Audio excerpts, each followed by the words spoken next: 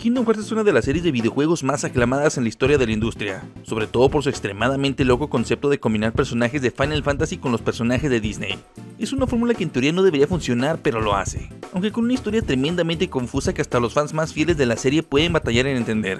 Y en honor al lanzamiento del super esperado Kingdom Hearts 3 que tardó 13 años en llegar, el día de hoy en Game les traemos 10 curiosidades de Kingdom Hearts que probablemente no sabías.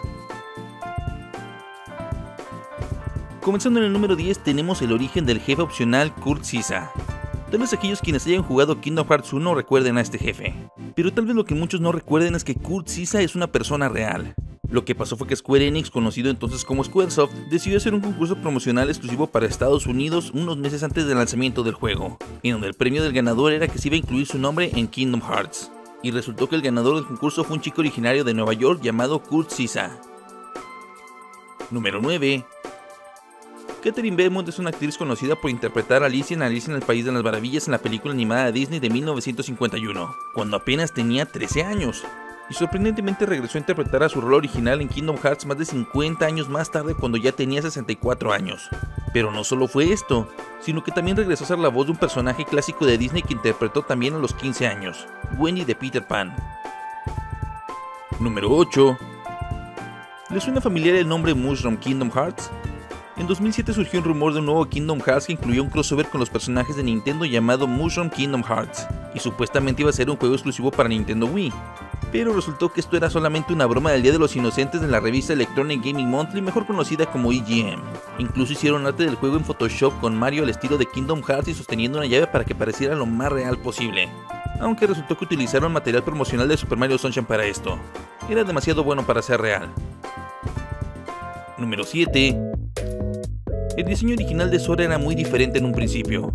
Parece que los bocetos originales están más inclinados a un estilo de Final Fantasy, y Sora iba a ser una especie de híbrido entre un humano y un león, ya que tiene una cola de león, orejas peludas y guantes de león. Pero lo mejor era que su arma iba a ser una espada de motosierra, lo cual yo creo que fue demasiado para Disney. Así que para el diseño final se modificó para que tuviera un estilo más acorde a Disney, como zapatos enormes redondos y amarillos como los de Mickey Mouse, shorts rojos como los de Mickey Mouse, guantes blancos como los de Mickey Mouse y una espada en forma de llave como la de nadie más. Esto fue algo original del juego. Número 6. Tanto en Kingdom Hearts 1 como en Kingdom Hearts 2 había unos de animación CGI para sus respectivas secuelas, y para acceder a estas tenías que terminar el juego en cierta forma especial. En Kingdom Hearts 1 el teaser se llamaba Another Side, Another Story, u Otro lado, otra historia en español, y fue creado por el mismo equipo de animaciones que hizo Final Fantasy VII Advent Children.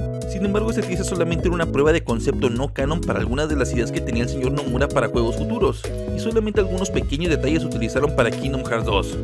Y en el caso del teaser de Kingdom Hearts 2 que se llamó Birth by Sleep o Nacimiento al Dormir en español, se utilizó el concepto general para crear una secuela para PlayStation Portable o PSP con el mismo nombre. Número 5. Disney y Square estaban trabajando en el desarrollo de una serie animada de Kingdom Hearts después del éxito del primer juego. Incluso supuestamente le dieron libertad completa al equipo de creadores para que pudieran hacer un episodio piloto de la manera que ellos quisieran. De hecho, se dice que querían utilizar dibujos de los fondos originales de las películas de Disney para poder darle un estilo más único al show. Y al parecer el episodio piloto fue excelentemente bien recibido por las audiencias de prueba. Pero lamentablemente el proyecto fue cancelado porque la historia de esta serie era muy diferente a la del juego y como Disney y Square ya tenían varias secuelas planeadas, no querían confundir a la gente con otra continuidad. Si no encuentras esto extremadamente irónico, probablemente es porque nunca has jugado Kingdom Hearts. Como si en 2003 el director del proyecto filtró unos storyboards del primer piloto. Número 4. Super Mario 64 fue la inspiración para crear Kingdom Hearts. Al parecer cuando se lanzó Super Mario 64 para Nintendo 64 en 1996, el juego tuvo un impacto profundo en Tetsuya Nomura, Shinji Hashimoto y Hironobu Sakaguchi de Squaresoft, quienes estaban impresionados por el nivel de detalle y la libertad del juego combinado con sus mecánicas. Realmente era algo nunca antes visto hasta esa época, y esto los inspiró para crear un juego similar que pudiera competir con Mario 64. Número 3. La mera existencia de Kingdom Hearts se debe a una serie de increíbles coincidencias en las cuales el juego nunca hubiera existido. Para empezar querían crear algo similar a Mario 64, pero creían que sería imposible competir con Mario, porque al ser un personaje establecido y famoso a nivel mundial por años, un personaje nuevo no tendría oportunidad alguna de competir. E irónicamente pensaron que lo único que podría hacer de frente a Mario eran los personajes de Disney. Pero coincidentemente las oficinas de Disney Japón estaban localizadas exactamente en el mismo edificio que las oficinas de Squaresoft, y un día casualmente Shinji Hashimoto se encontró con un ejecutivo de Disney en el elevador y le sacó plática, y en esa plática le presentó la idea discretamente. Para la sorpresa de todos, a esta persona de Disney le agradó la idea y empezaron a agendar juntas más serias para comenzar negociaciones y planeación del proyecto. Número 2. Originalmente Sora no iba a ser el personaje principal, al comenzar las negociaciones sobre este juego se acordó rápidamente que este proyecto iba a ser un crossover de Final Fantasy con las diferentes franquicias de Disney, pero había muchas discusiones sobre quién debía ser el personaje principal. Parece que Square quería un juego con Mickey Mouse como el personaje principal, pero Disney insistía que querían un juego del pato Donald, porque Disney siendo el gigante corporativo sobreprotector de sus franquicias y sobre todo de Mickey Mouse, no querían arriesgar la imagen de Mickey. Sin embargo, mientras que estas dos entidades corporativas peleaban y negociaban, Tetsuya Nomura discretamente comenzó a crear un personaje original inspirado en Final Fantasy para que fuera el personaje principal. Creo que es bastante lógico que estoy hablando de Sora. Cuando terminó el concepto lo presentó y fue aprobado, acabando por fin las discusiones entre Disney y Square, y en recompensa le permitieron dirigir el juego. Y por último en el número 1, el código original y todos los assets del juego original de Kingdom Hearts está perdido. ¿Quién diría que hacer un respaldo de tu trabajo sería buena idea?